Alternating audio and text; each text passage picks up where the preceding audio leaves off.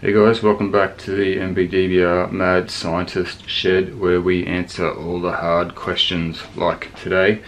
We're going to be having a bit of a try at connecting up the GoPro Hero 12, the new model, uh, which supposedly has Bluetooth audio capabilities. And we're going to try and pair it up with the Fodsports FX8 Air helmet comms to try and get audio, wireless audio, uh, through the microphone for the comms straight into the camera. Um, apparently it's supposed to work, but how well does it really work and is it going to be a feasible option for people that motovlog?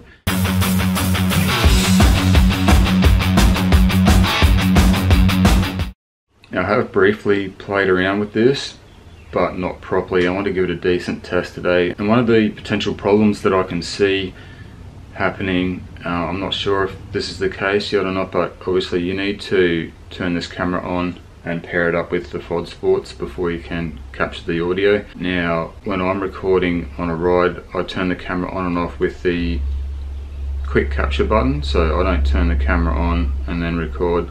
Like I just use that record button, press it, the camera comes on, starts recording.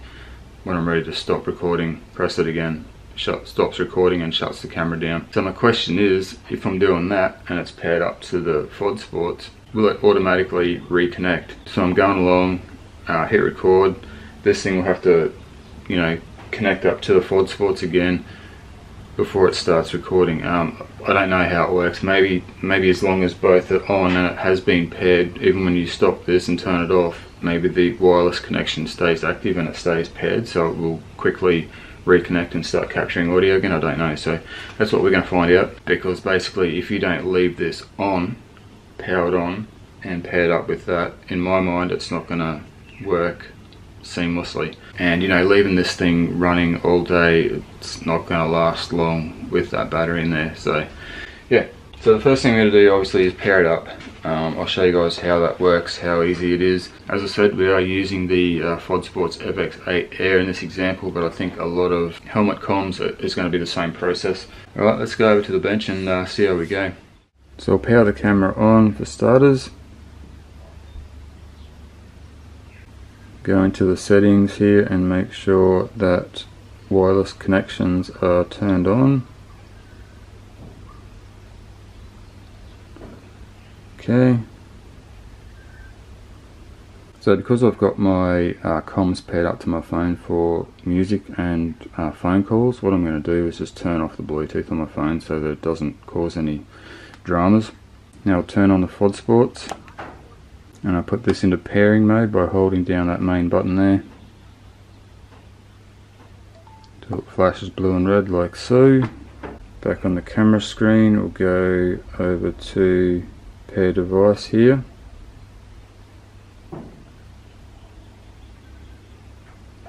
There you go. It's come up with the Fodsports FX8 Air, little plus. And I just heard the uh, Sports say device connected, so that's working. What I'll do now is chuck the um, helmet on and set the camera just on the desk here somewhere I'll switch over to the audio that's coming through the uh, GoPro and uh, for starters just see if it's actually working. Alright, so I have hit record on the GoPro 12. Um, hopefully should be getting audio directly from the microphone in the helmet here, um, which is you know, obviously connected to the Fodsports. I'm uh, going to walk away over here hopefully um, hopefully you can still hear me. So that's the uh, audio test. I'll just um, go outside here and see if you can still hear me. Check one two three four. So uh, how is that audio? What I'll do now is quickly uh, just go inside check this footage and um, see if it's actually working. And uh, if it is we'll jump on the bike go for a ride see how the wind noise is. I'll just try and show you guys where the microphone is if you can see that right there. That's the microphone for my comms. It's not really wind protected there but um, it seems to work for you know bike to bike helmet to helmet communication. I just don't know how well it's going to work for the GoPro audio. But anyway we'll see. Alright, so after reviewing that footage from the GoPro, the audio actually sounds quite good. Like, um, I've seen reviews of people doing this um, and pairing them up to earbuds, and the audio sounded actually really terrible. So I'm pretty happy with the quality that's coming uh, from the Fodsports. It sounds a lot better. The volume was really quite low. I um, had to boost it up quite a lot to make it sort of, you know, the same as the rest of the footage in this video so far but that's okay. So basically these are both being powered off now. The camera's been turned off uh, since I uploaded the footage onto my computer. Uh, this has been powered off. What I'm going to do is turn this back on, turn the camera back on, or hit record and just see if it pairs up automatically and uses the audio from this or what. Okay, so I'll just put this back on. Now I'll hit the quick capture on the GoPro.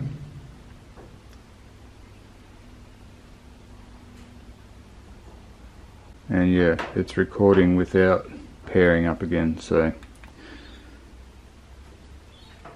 what I'll do is power it on without recording go back here I just heard it say connected again so okay I don't know if you can see that there but it's got the little microphone icon there next to the battery so it's using the Fodsports now. Stop recording, turn it off.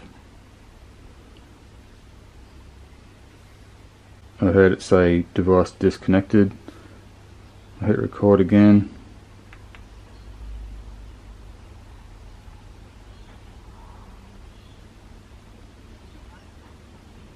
So there you go, it's a little bit of a delay but it did connect again.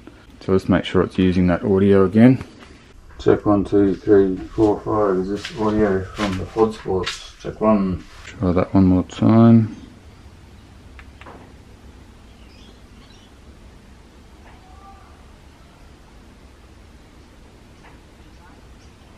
So yeah, it does seem to be connecting up automatically again, but as you saw that first time it didn't, so it could be a little bit hit and miss with that. I don't know, even if the Fodsports stays turned on and the camera's not recording for a while, um, will it still reconnect automatically? I don't know. That's sort of enough for me to not use this as a solution. I can see in some situations, you know, some of you guys might be happy with it, um, have some sort of workaround, or if you just leave the camera turned on and paired up the whole time you're using it, um, you know, it might be okay for you. But yeah, for me, it's it's a little bit hit and miss if it if it doesn't work on a certain clip and I miss some audio, some important audio, it could be a real bummer. But anyway, we'll definitely do the on the bike test and uh, you'll go for a bit of a ride and see how it fares. I've got to admit, I wish it was a reliable solution because how good would it be just having the camera, no microphone plugged in, no media mod.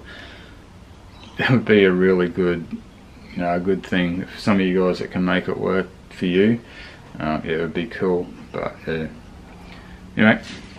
Alright, so just hit record again and uh, the uh, Fodsports informed me that it automatically reconnected, so that's good. Let's see how it goes. It's a bit windy at midday. I'm microphone. Um, on the cheap card, I think I'm having a, like, a tack things over at the job as well. Um, just there on a bit over. You so see how it goes. Okay, let's try that again. That first test was obviously a massive fail.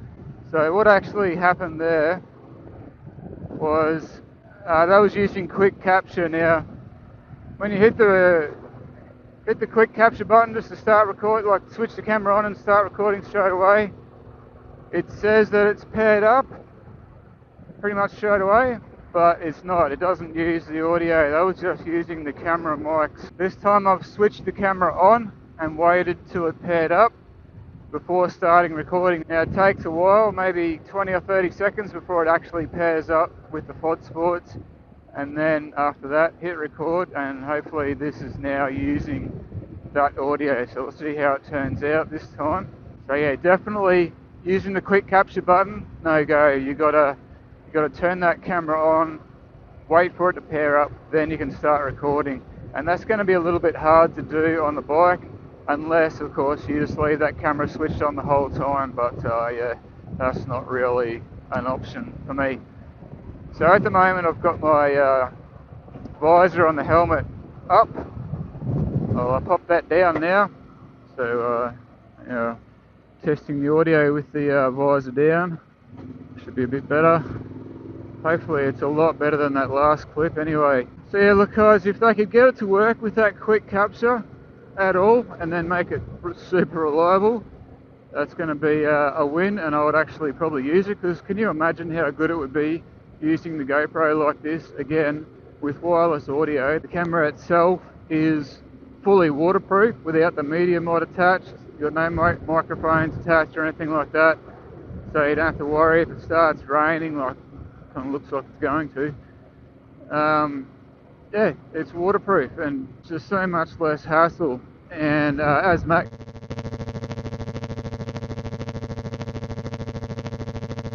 freaking easy to change out the battery without that fucking media mod on there. Like you, instead of undoing all your mounts and pulling the whole thing apart, all you're doing to change out a battery when it's like this is just popping that side off and popping a new battery in.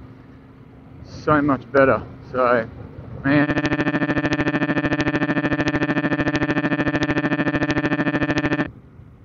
You uh, if you got any ideas, drop a comment below. But uh, for me, leaving the camera running all day, even with my uh, power bank set up.